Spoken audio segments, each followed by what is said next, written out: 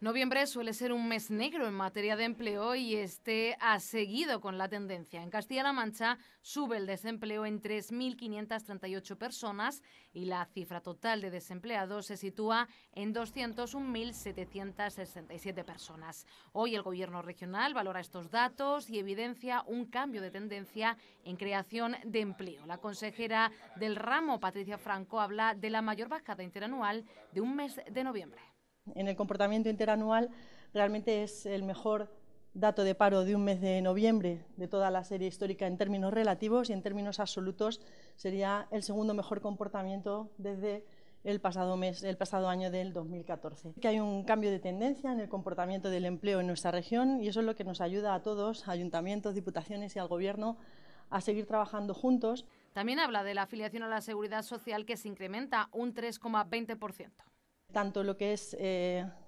eh, bajada de desempleo como incremento de afiliación a la seguridad social, Castilla-La Mancha está por encima de las medias nacionales.